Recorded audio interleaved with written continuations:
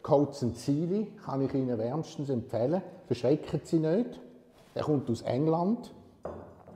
Für viele äh, unvorstellbar, äh, dass ein englischer äh, Schaumwein etwas äh, Tolles sein kann. Aber was Sie müssen wissen ist, Pariser Becki, der spezielle Kalkboden, der geht bis nach Südengland führen. Und dort haben Sie genau auch die Böden, wo Sie die besten Lagen in der Champagne haben. Und mit der Klimaerwärmung ist es so, dass die Reife etwa 8 bis 10 Tage später ist wie der Champagne bei tieferen Erträgen.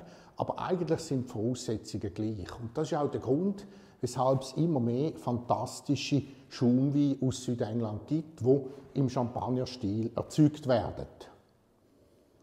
Also wenn Sie den kurzen Ziele blind servieren und sagen, Sie haben einen Champagner offeriert, bin ich überzeugt, niemand wird merken, dass das kein Champagner ist. Er schmeckt wie ein hochwertiger, guter Champagner. Und ich finde das noch ganz originell, dass man mal einen englischen Schaumwein geben kann.